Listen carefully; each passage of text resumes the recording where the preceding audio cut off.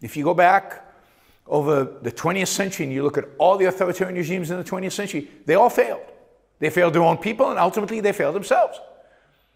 And, you know, there's so many myths about authoritarians, you know, they, they, they're so charismatic, right?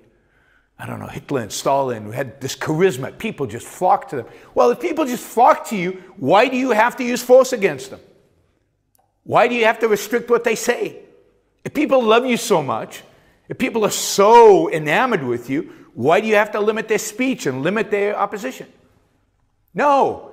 I mean, you are the enemy of the people you are supposedly inspiring. And to some extent, they know it. And the only way to control them is by silencing them and by using force against them. And that never works, it always fails.